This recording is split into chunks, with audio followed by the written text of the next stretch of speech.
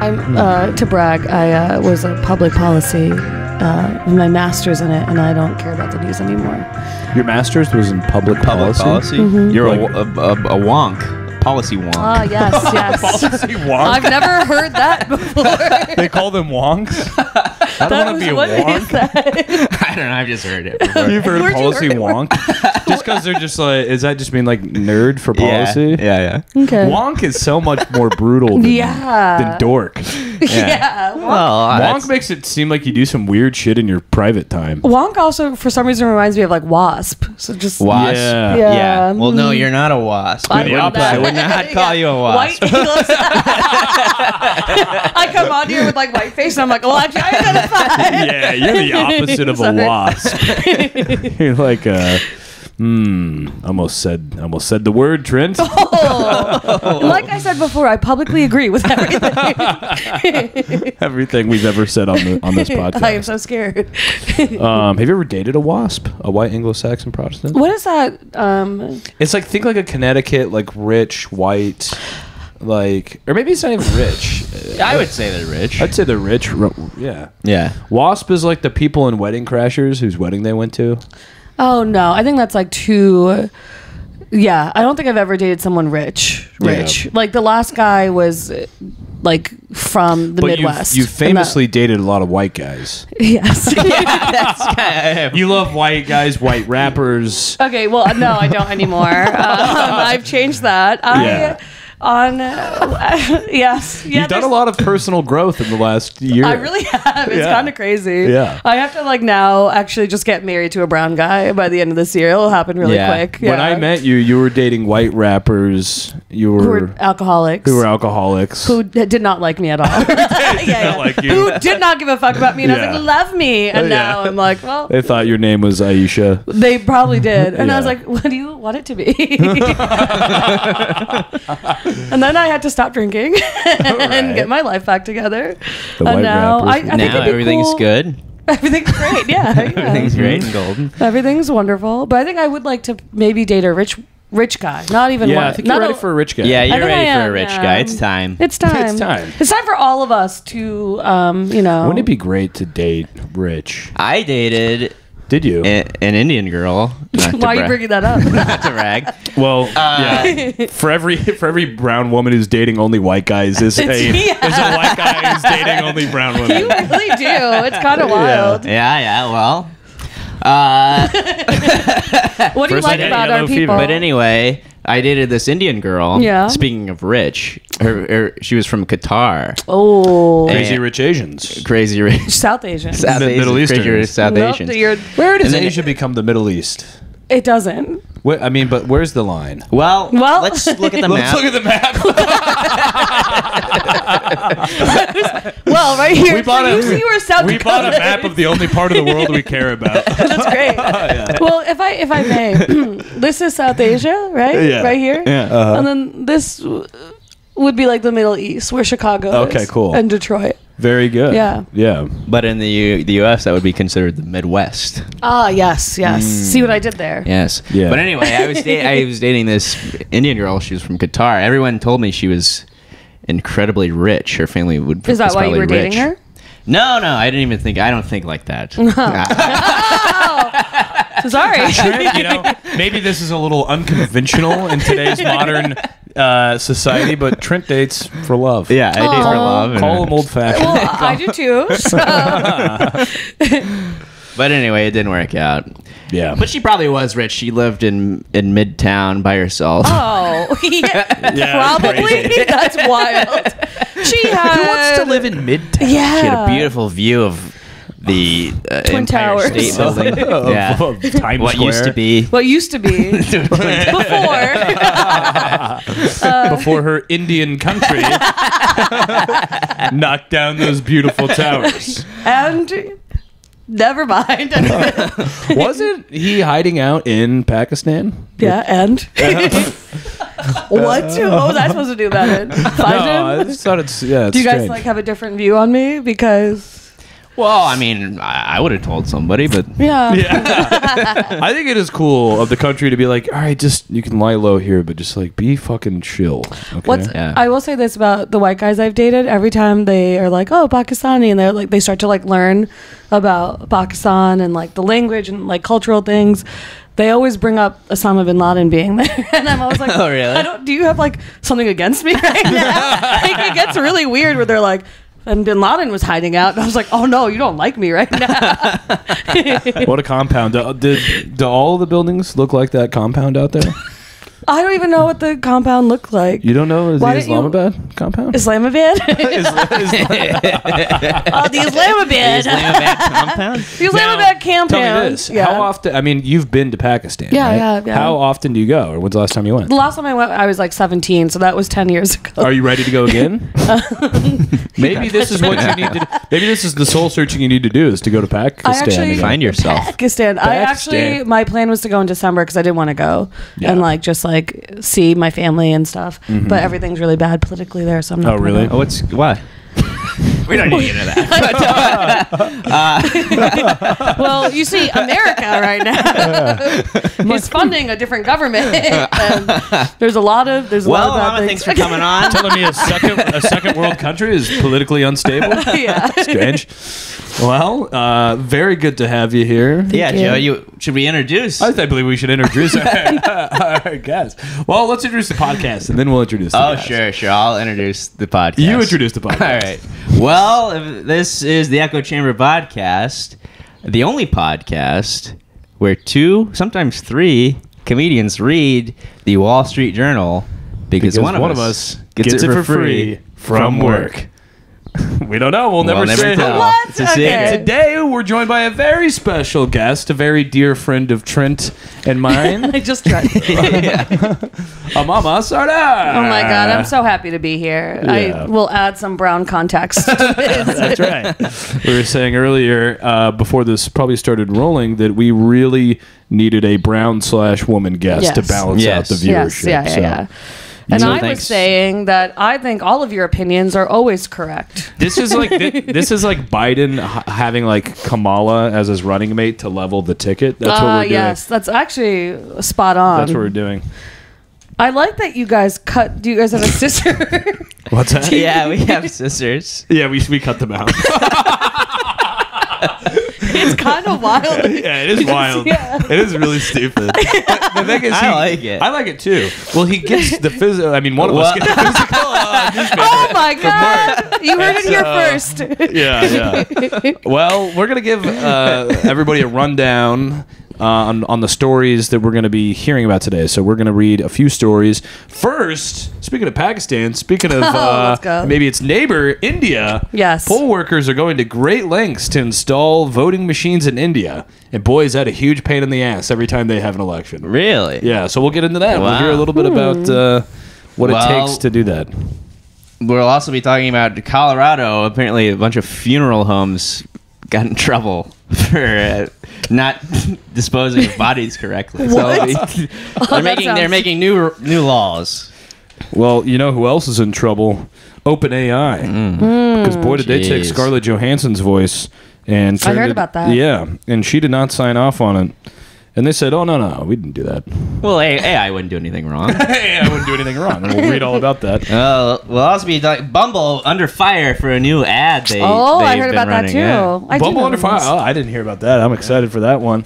And uh, one of our favorite senators, uh, Mr. John Fetterman, Pennsylvania. Oh yes. Oh, here we're gonna get an update from the big man. The big man. Do you have another stroke? pants Oh no, we're mostly gonna hear about how he can't put his pants on. nice. Um, Fetterman finds his own voice, goes his own way. Aw. He's a he's a maverick, and I Yeah. love him for it.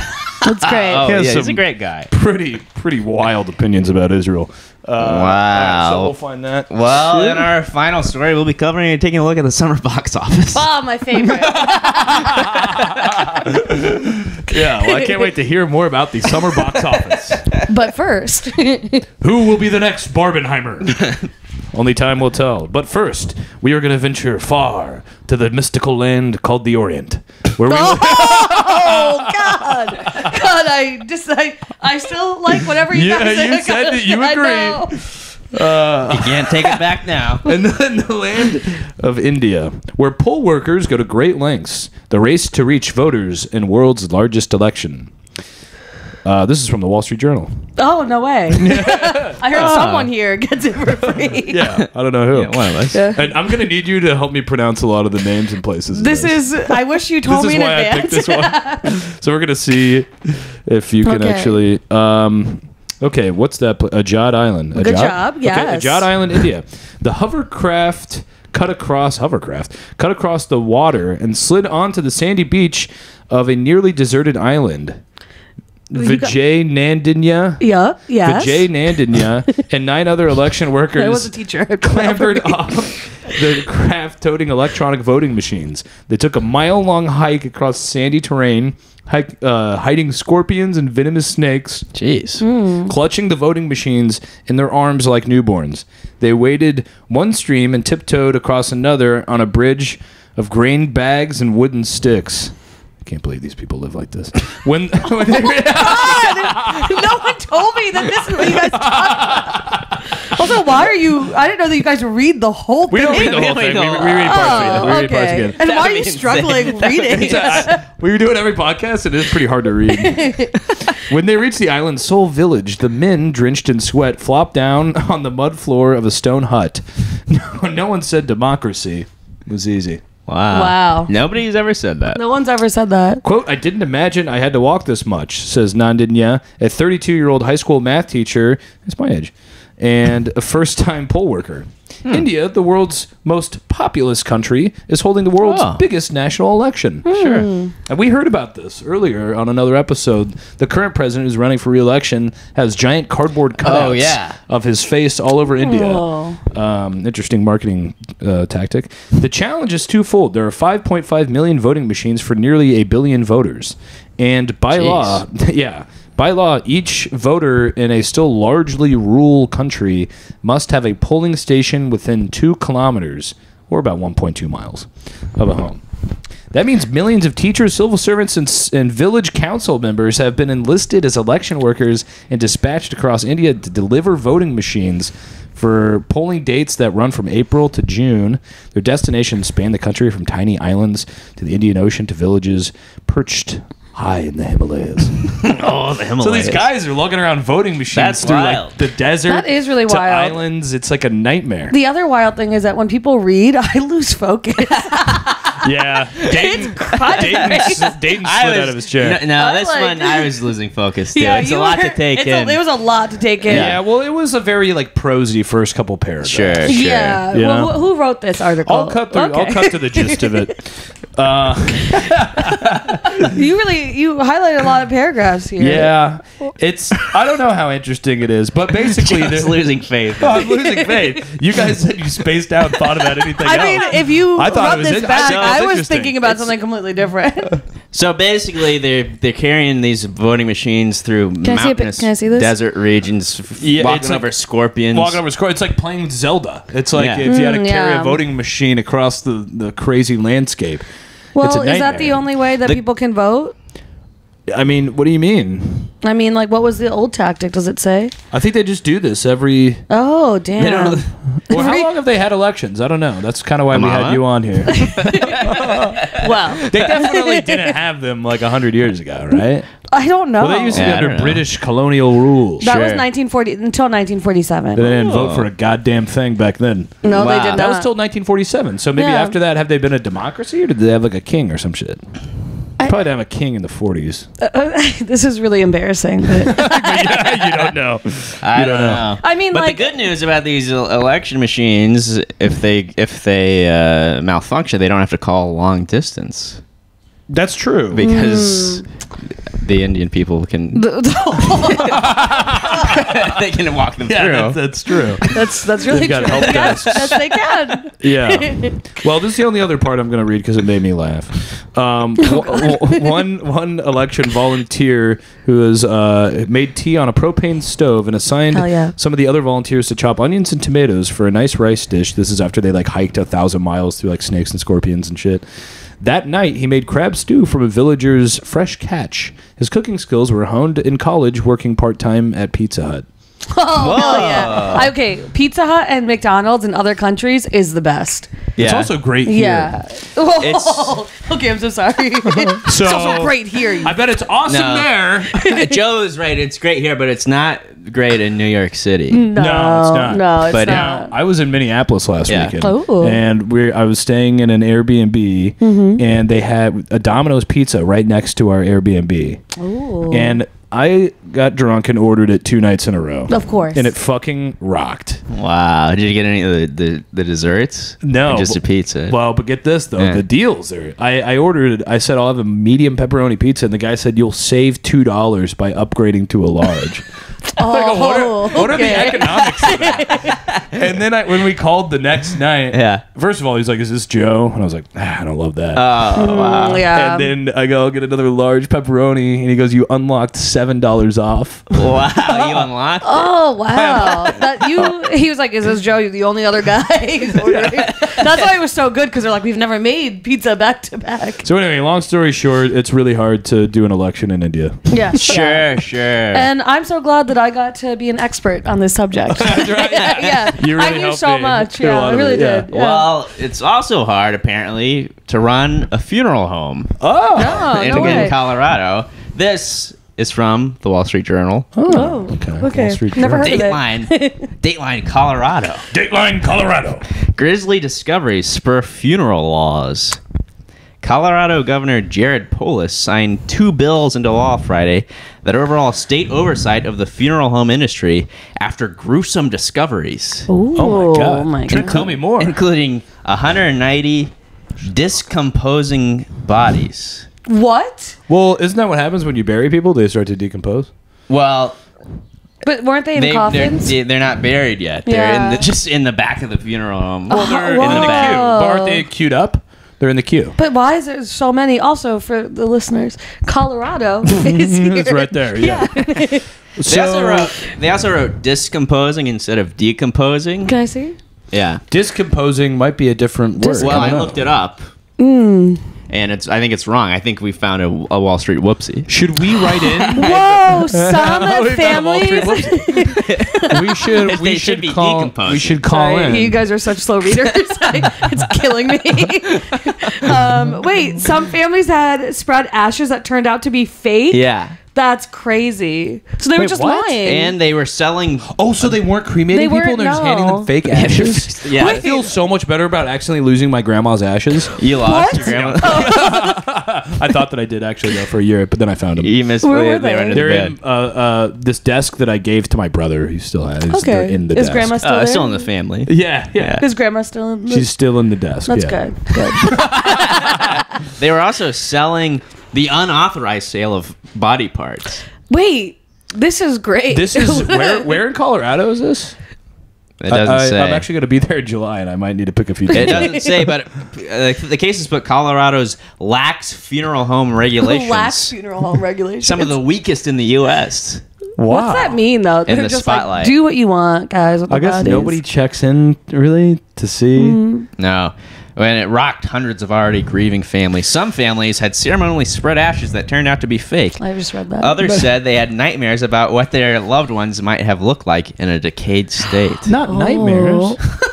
I think here's here's an unpopular opinion. Uh-huh. Once you're dead, you're dead. Yeah. Yeah, but also, who wants to go to Acadia National Park to spread uh, a bag of flour around? That's true. It's the thought, I think. yeah, I don't. I think once once you've been, you know, bagged up, that's it. I don't know. I don't know. But But also, here's my real question. Yes. Isn't it? Isn't it just easier for them to like incinerate these bodies than pile them up in the back? Well, I think well, they they're, s- selling. Yeah, they're things. selling yeah, them. That's what are they selling? Like what parts of them? We don't know. Penis. The pe- Can I say that? penis, Yeah, yeah. We got a great selection of cocks down here at Michael's Crematorium. we got black, brown. that's it. Oh, yeah. Mostly, mostly black and brown. We're- It's Colorado, so it's all white. Actually, probably. yeah, there's Yeah. A, lot, a lot of white people there. A lot I of- was there a few weeks ago. There's a lot of white people. really? Yeah. Yeah, you probably had a field day. No, No. I don't get the idea of sp- spreading the ashes. I just want to say that you know white people are great. you guys. I don't know about Yeah, I mean, I like the idea of spreading the ashes. I I, do don't want to get going to the ground in a kind of. No, I don't Oh, want neither that do either. I'd like to be on on, on a mantle. I don't want to be in the mantle. You don't 'Cause wanna be I, want to go back into the earth, Earth, and get back into the whole The, the cycle. cycle. Yep. Because now it's like I'm stuck there for a trillion years. It's gonna take until that. And stuck in also, it. what if you're in a coffin you and you gave wake away. up? yeah, Yeah. pretty much. What? What if you're in a coffin and you wake up? It's a big fear of mine. And then Yeah, you're that not. Uh, happens you've been often. buried I know. alive? Don't. s- Oh God. that doesn't happen often. I think one in you ten. said it with such That's one in conviction. I was like, 10. oh my God. Okay. Yeah. What a tin. One in You're in 10. there waking up, guys, guys, guys. Well, in, in Guys, Colorado, it might happen. It might happen a lot with these funeral homes. They don't know what they're doing. Yeah. One, uh, they there's just some new laws. One requires regulators to routinely inspect funeral homes and give them more enforcement power. Another implements licensing for funeral directors and other workers. They would need to pass a background check Hmm. and a national exam while possessing degrees and work experience. Previously, funeral home directors in Colorado didn't have to graduate from high school, let alone have a degree. But they don't. They don't. They're just. They think that's a problem, and not that like they're just selling. But like, does anyone get arrested for this? Like, this is kind of. Yeah, just because you have, have a, a, a high school degree doesn't mean you're not going to sell body parts. the guy who I mean, they're they're not all bright. The guy who was working at the funeral home or whatever when my dad passed away, Yeah. and we were like selecting the lot or whatever because my grandma had purchased all of these lots already. Sure. And he's on this computer and he's looking through like he was like, oh, and uh, and it was Robert that passed away, and we were like, well, that's our uncle, so no. And he was like, "Okay, I have it in this lot over here," and we're like, "That's not the lot." Jeez. Oh God. Yeah, so they're not the brightest. yeah. Yeah. How They many- also just don't give a fuck because it's So not my their. dad could be anywhere. it could Oh, be God. anywhere. Whatever yeah. they gave us was Your for sure not his grandma, ass. your dad, Yeah, this is yeah, a family that's just lost. Yeah, your in- dead relatives are all over the place. Yeah. I know. We had his ashes buried because we were like, What- "What? we're gonna I don't want to lose the ashes." Hmm. Yeah, So where'd you you bury them in the in the in the whole ground. uh, n- yeah? Of course, who knows? In the what they cemetery. did. Who knows what they did? with them. yeah, yeah. He's Wow, probably is still- that cheaper than a big box? It's cheaper in theory, but Hmm. it still adds up because we thought you just get an urn, but then you got to put a box. You got to put the urn in a box. and now I'm buying a, an urn and a casket. Yeah, So Wait, that's kind of wild. Why Yeah. can't you just like dig a hole? that's what I was saying. Yeah, I Yeah. think if I was a funeral director, I'd be like, everyone dig a hole. You f- whatever hole you find first, you dig, and then you just put like a little a little thing on it, and that's it. yeah, it. I agree. Yeah, there's no. I don't we should know. go back to that. We should. So wow, there's 120 dead bodies in the back of that place. but if you Yeah. need a penis, you know where to go. well, that's a fascinating story. You know who else is in trouble? Like we mentioned, OpenAI. Oh, no. Because they are in a battle with Scarlett Johansson. Oh my One of the gosh. most beautiful angels in the world. With a hot ass voice. Dispute shows ongoing collision between AI and Hollywood. This is from the Wall Street Journal. Mm, okay, wow. Altman's artificial intelligence powerhouse, OpenAI. I'm going to read it like this so you stay interested. Okay. Had for months unsuccessfully courted Johansson, who memorably voiced the AI assistant in the 2013 film Her. that movie. Hmm. I hated that movie. I hated it too. Well, Altman didn't. He liked it a lot. Last September, Johansson turned down an offer to work with OpenAI and voice a new assistant feature. Altman didn't give up. In mid May, he texted Lourd, co chairman of Creative Artist Agency, asking if Johansson might reconsider. He wanted to show the actress something he'd been working on. Oh boy. There's a picture of his cock. Uh, people familiar with the interaction said the camps couldn't settle on a time to meet up. Then on May 13th, OpenAI showcased an uh, updated AI system equipped with a new voice assistant for its Chat GPT tool, including a female named Sky. Shut up. Johansson was surprised and angry. Johansson. She and Johansson. Johansson. It's spelled like that. It's Johan- Ooh, it's Johan- Scarlett Johansson. well, she made me nervous. She laughed at the thing I said before, and now I'm and now now it's Are you slippery reading slope. that, or is that just what? Yeah, she and Jo- Johansson was surprised and angry. Why are you guys better at reading? Let me finish the fucking Sorry, sentence. Okay. The this guy's voice sounded eerily similar to hers. Ah. Lourd and the actress spent the morning fielding calls and emails. When Lourd confronted Altman, however, the OpenAI chief executive was incredulous. Did they really think the voice sounded like Johansson? Was she mad? Was I she like- mad? I Are you like the way that you did the mad? incredu- incredulous. Oh, Incredulous. Yeah, that's I can read. Good word. Big word. It is, yeah. The Wall Street word. Journal. Big word. Very good, Joe. Well, Trent and Amamah, for performers like Johansson and IP owners, hmm. it is yes. hard to prove whether their likeness or content has been misused. Sure. And regulations governing the system are scant. Oh. In the absence of clear rules, OpenAI has said it's speaking directly to content creators, including studios and artists, about the potential disruption of AI. Bullshit. No, absolutely speaking not. with Yeah, anyone yeah, they're not. They They're go, not. don't worry, we've got it covered. Yeah. They're like, we're Don't gonna you- give you you, don't a even need to billion regulate dollars. it. Yeah, yeah. We've been talking to a lot of creators. Fucking absolute horseshit. And you know that some creators are like, no, that's actually my voice. I gave it. Right. Yeah. Yeah, so they they asked her and begged her for like months to do this. Yeah, they pleaded. And They then, were on just, like, knees. slightly and then he's going, "Whoa, sounds like Scarlett Johansson." I don't know. You know, I have you wouldn't- ever- I wouldn't go that far. Have you ever heard that Vanilla Ice interview where he's like talking about his song and then Queen's song, and he's Yes. like, no, no, but mine is. yeah, it's like dun dun dun dun dun dun. dun. the exact same thing There's that just dun dun happened. dun dun dun. Yeah. He's like, I mean, it literally doesn't even. you guys are crazy. you don't have to read the rest.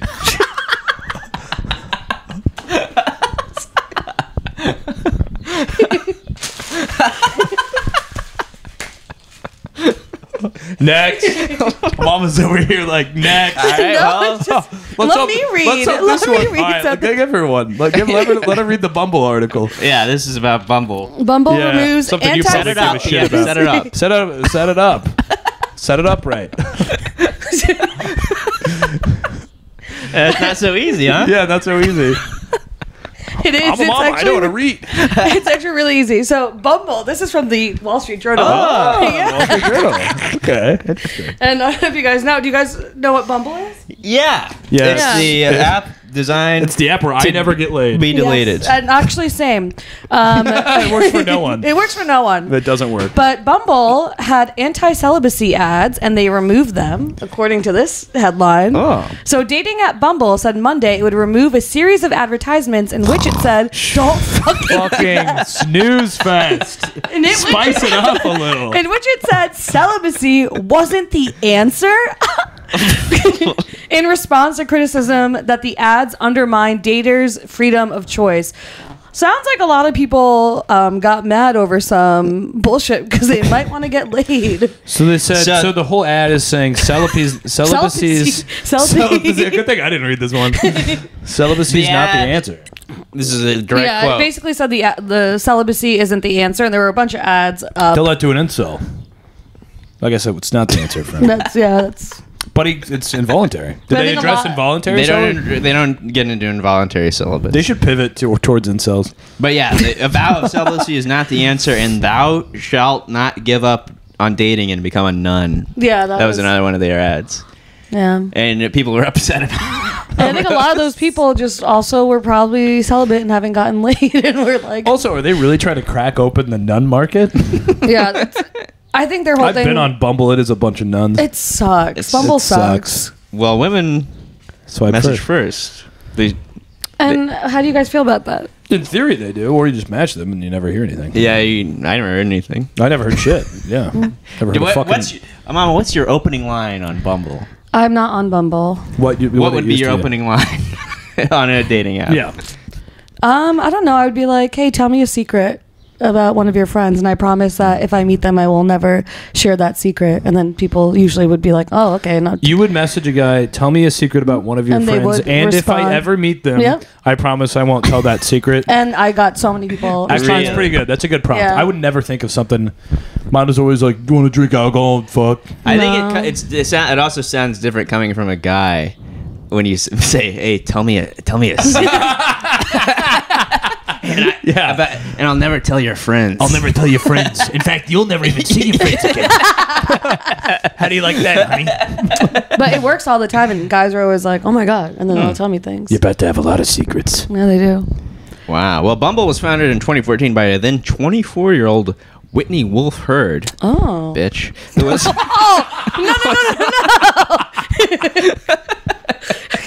After this, we are going to do a women's studies course. Just calling her a bitch for no reason. It's so funny. oh God. Ru- ruined fucking dating apps for everybody. was long known uh, for only allowing women to send the first message to potential heterosexual partners, though the redesign did away with that feature. The heterosexual The part. heterosexual part, or the, Yeah. or the women first part. I think the women first part. They're like, no, it's still They- heterosexual for sure. No gays. no gays. The company has faced some turnover in recent year in recent months. again. All right. Yeah, we're off our game today. She's Yeah, really we- well, we have a woman in the we have a lady on the show. can't do a Get single fucking thing right. Jesus Christ.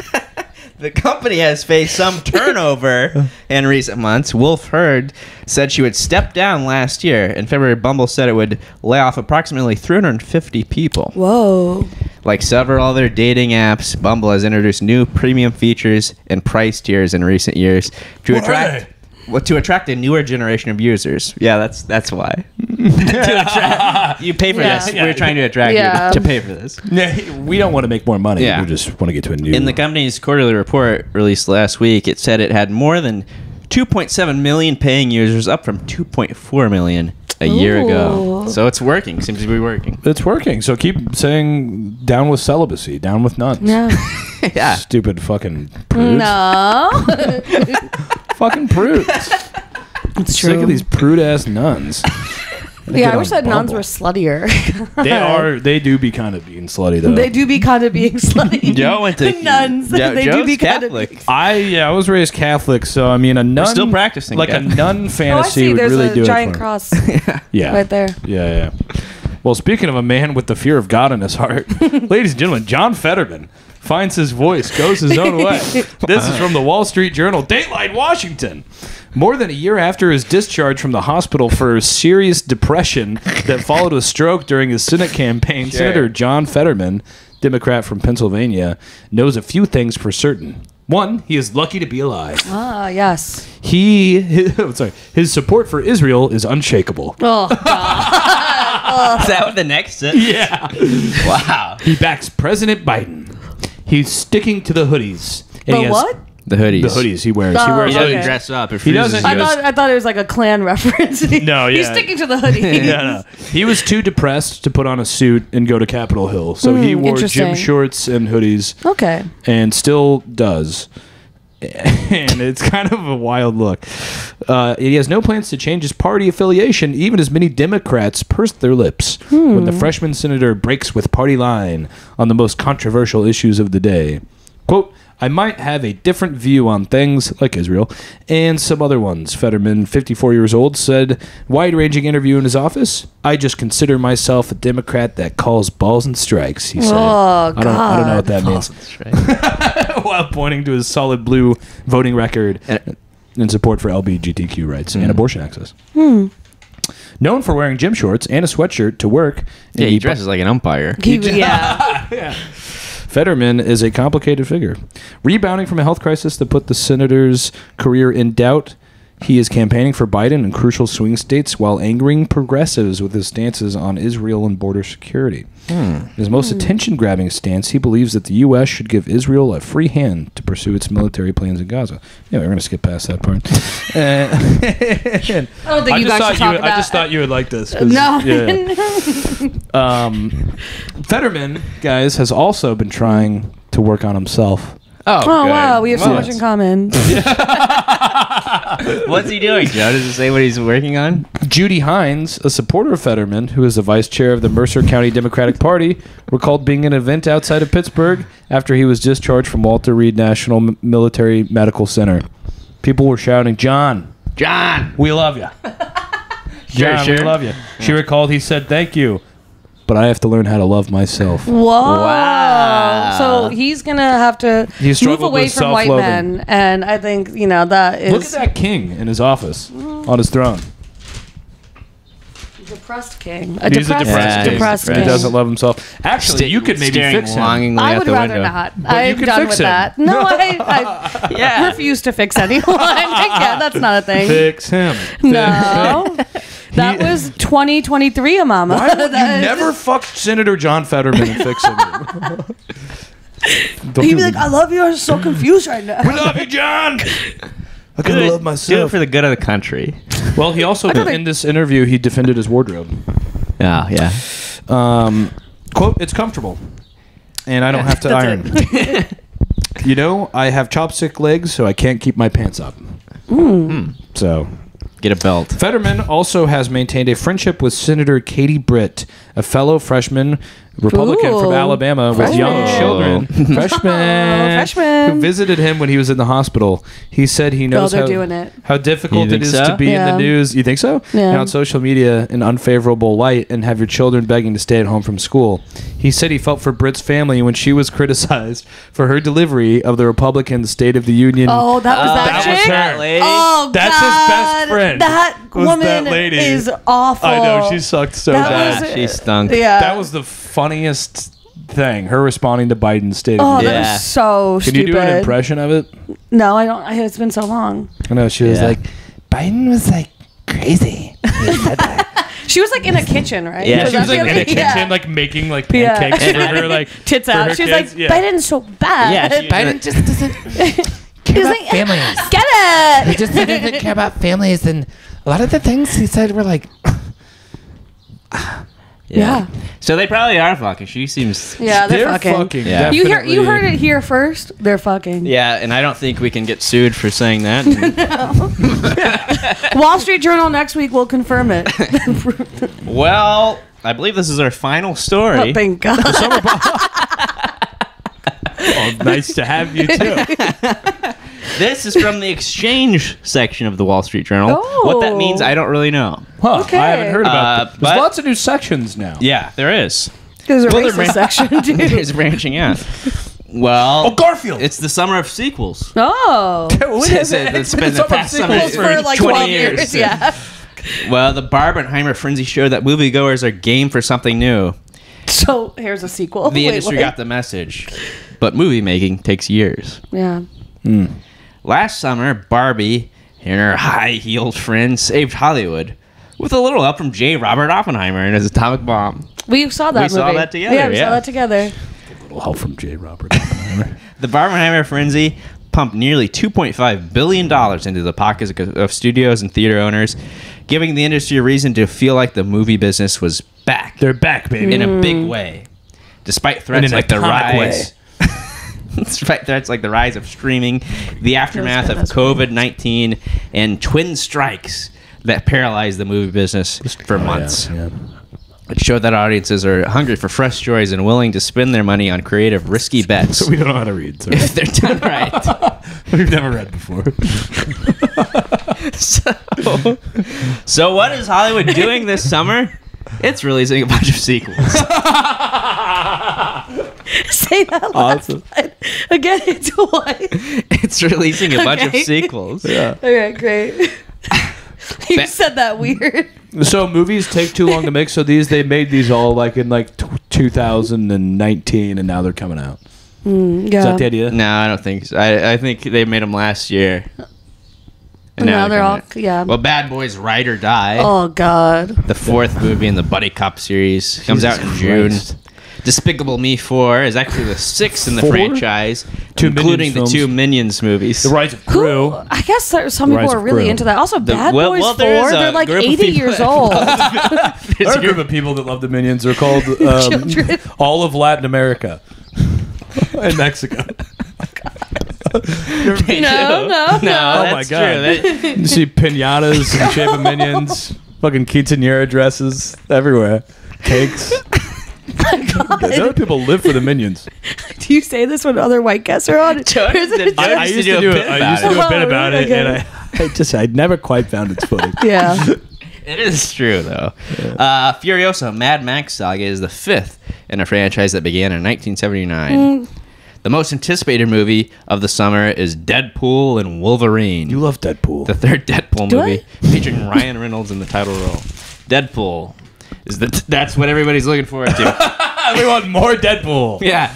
Ah. I think if you're really into Deadpool, you, you should be put be- on a list, a watch, a watch, a watch list. I did like the first one, and then the, I didn't care for the next one. I fucking So I used to work at Legoland, and we've mentioned this before on the Yeah. podcast. Yeah. But we would do like these like themed nights or whatever. We'd have adult night once a month. No kids allowed. Sure, We'd have a little that's bar. But we that each would have would have a theme. So we'd have like Marvel night once Yeah. a year, and we'd hire these costume performers to come in. And there was this Deadpool guy that dressed up like Deadpool, and he was so inspired from the movie that he would like be all like lewd and crass, just like Ryan Reynolds' Deadpool Uh. was, Oh, to the point that he was God. like like kind of borderline sexually assaulting people Sure. that Oh my came there, God. and we had to fire him like at an event. He'd be like, "You can't like physically touch the gas. Oh, I'm sorry. I guess you can't be a method actor anymore. Yeah. Sue me. well, I'm actually Deadpool.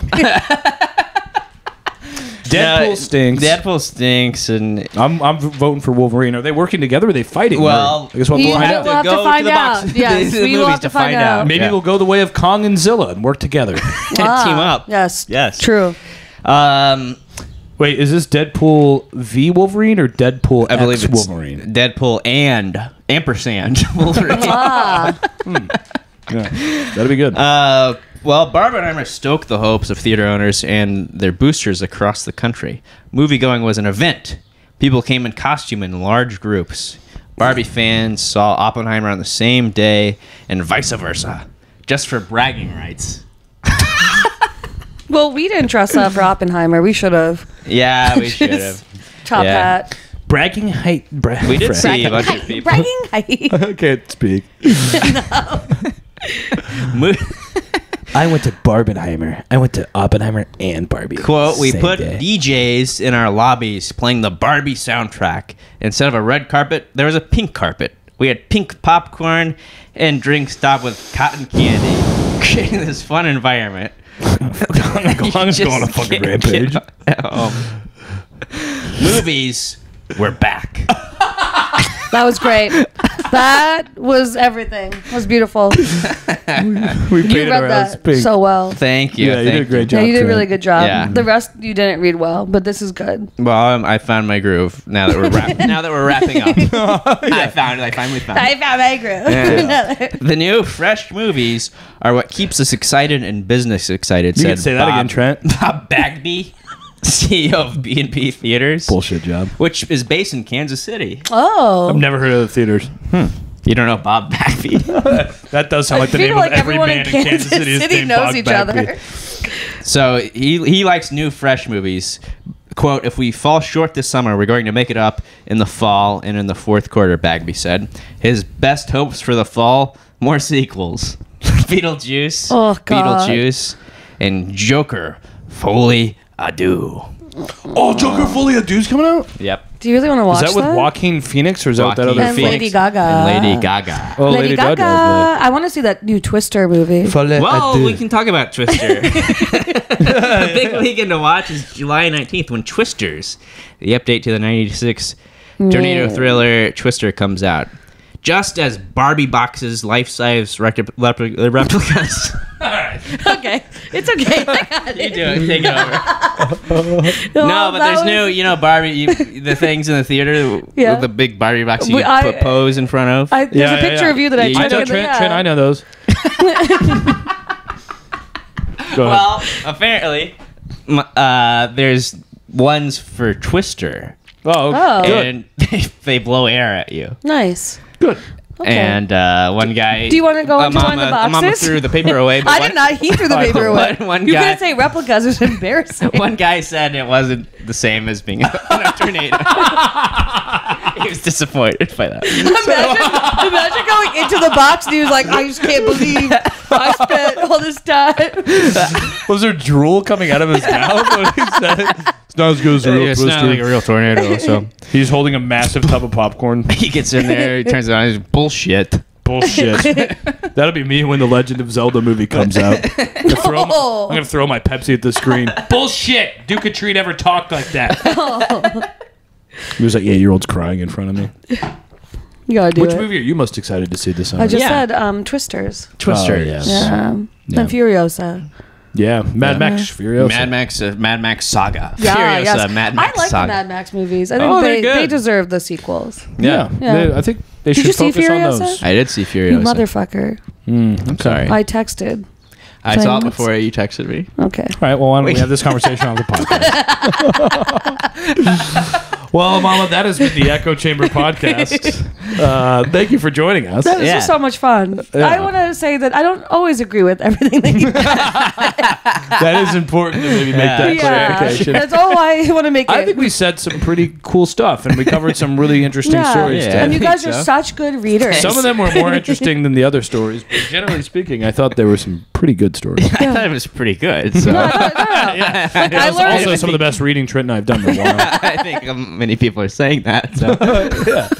Eh, eh, Mom, is there anything you would like to plug? Oh, no. Okay. Okay, cool. Yeah. Well, uh, that's it. That's the show. Don't forget to like, subscribe, Yeah, rate, all that review, bullshit. leave a nice comment. Hmm. Uh, Tell a friend. yeah, Tell tell, a your friend. friends. Uh, that's it. As always, this is Trent Mabry signing off. And this is Joe Nunnink signing out. And this is Amamah Sardar. Bye. Si- signing. Signing off. All right, she's signing off. Bye bye.